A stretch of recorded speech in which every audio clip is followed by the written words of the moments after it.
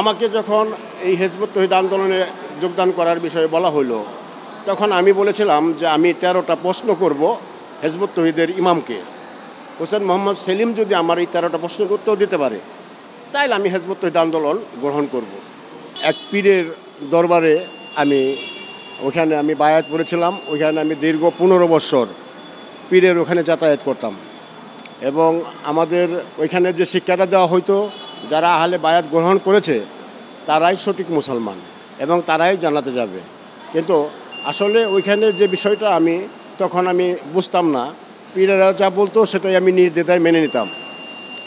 কিন্তু যখন আমি এই হেজবুত তহিদ আন্দোলনের যখন আমার কাছে দাওয়াত আসে, তখন আমি প্রথমত আমি, এই হেজবুত তহিদের যে ভাইটা আমার কাছে দাওয়াত নিয়ে আস, আসছিল, তখন আমি তাকে তুচ্ছ তাচ্ছিল্য করেছিলাম।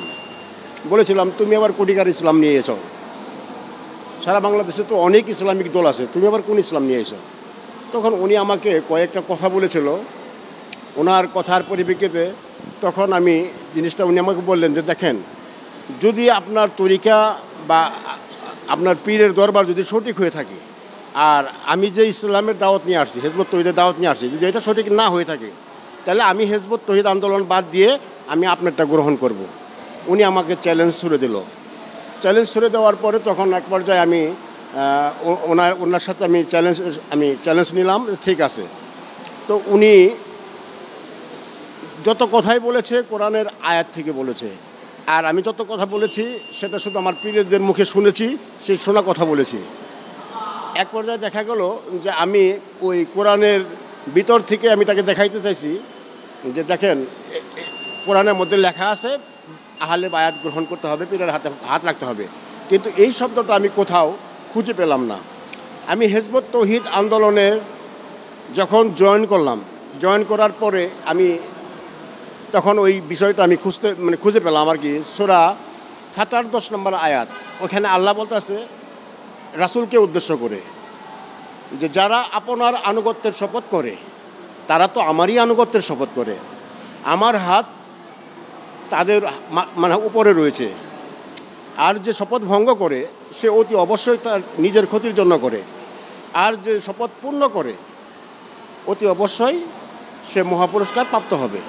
এখানে বোঝা গেল যে আল্লাহ বলতেছে, যারা রাসূলকে অনুসরণ করবে এবং অনুকরণ করবে, তারা যেন আল্লাহকেই অনুসরণ, অনুকরণ করল।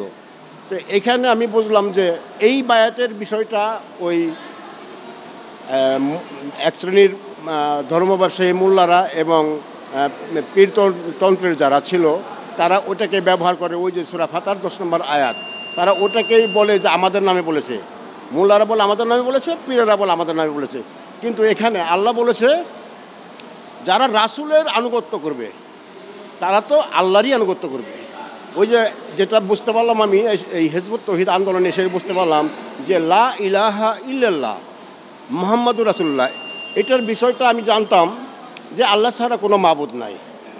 মোহাম্মদ আল্লাহর পীড়িত রাসুল। এই বিষয়টাই আমি জানতাম। কিন্তু হেজবত তহিদ আন্দোলনে আসার পরে আমি এই বিষয়টা ব্যতিক্রম জানতে পারলাম। কি? যে লা ইলাহা ইল্লাল্লাহর অর্থ হচ্ছে যে আল্লাহর হুকুম বিধান ছাড়া আমরা আর কারও হুকুম বিধান মানব না। মোহাম্মদুর রাসুল্লাহ আল্লাহর পীড়িত রাসুল হরত মোহাম্মদ সাল্লাহ সাল্লামকে আমরা অনুসরণ, অনুকরণ করব। এই কথা যে ব্যক্তি মুখে বলল, অন্তরে বিশ্বাস করল এবং মানব জীবনে এই লা ইলাহা ইল্লাল্লাহর কাজের যে গুরুত্ব, সেটা বাস্তবায়ন করার জন্য কাজ করল, সে হলো একজন সত্যনিষ্ঠ এবং সে হলো মুকলেশ বান্দা। এখন আমি তো আগে জানতাম যারা, এই পাঁচ ওয়াক্ত সালা করতো এবং জাকাত দিত, হজ করতো এবং রোজা রাখত, তারাই মমিন। তারাই জানার যাবে। কিন্তু এই এই বিষয়টাও আমি বলছিলাম। আমি হেজবত তহিদে, হেজবত তহিদ আন্দোলনে আসার পরে এই বিষয়টা আমি স্পষ্টভাবে পরিষ্কার হয়েছি। কি পরিষ্কার হয়েছি? যে মমিন তারা, যেটা হুজরাত সুরা হুজরাতের পনেরো নম্বর আয়াত আল্লাহ বলছে, মমিন তারা, যারা নিঃসন্দেহে আল্লাহ এবং আল্লাহ রাসুলের প্রতি বিশ্বাস স্থাপন করে। দুই নম্বর, পরে কখনো সন্দেহ পোষণ করে না। তিন নাম্বার, নিজের জীবন ও সম্পদ দিয়ে আল্লাহর হুকুম এই মানব জীবনে বাস্তবায়ন করার জন্য কাজ করে, তারাই হলো সত্যনিষ্ঠ মমিন। আমার, আমাকে যখন এই হেজবত তহিদ আন্দোলনে যোগদান করার বিষয়ে বলা হলো, তখন আমি বলেছিলাম যে আমি তেরোটা প্রশ্ন করব হেজবত তহিদের ইমামকে।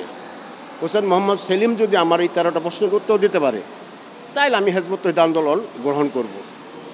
তো মাসাল্লাহ আমি তেরোটা প্রশ্ন লিখে নিয়ে আসছিলাম হেজবত তহিদের ইমাম হোসেন মোহাম্মদ সেলেম, উনি সুন্দরভাবে কোরআন হাদিসের আলোকে আমাকে উত্তর দিয়েছে। সেই উত্তরগুলো আমার মনোবত হয়েছে, বিদায়, আমি নিঃসন্দেহে, নির্দ্বিধায় আমি হেজবত তহিদ আন্দোলন গ্রহণ করেছি।